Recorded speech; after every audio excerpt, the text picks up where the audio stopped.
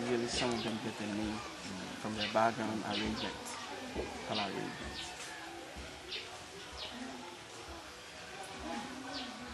So does the agent pay him for doing it? Yeah, he pay like those weavers who contract him to do this. Okay.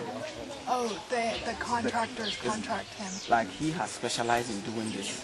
So if I'm going to weave, I just bring him my materials, then he See, like this, the other one. yeah.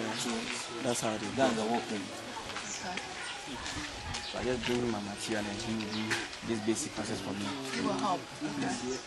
Then I pay him. So the contractor or the agent comes to him. The contractor. The weavers rather come to him. Okay. The, the agents don't know him.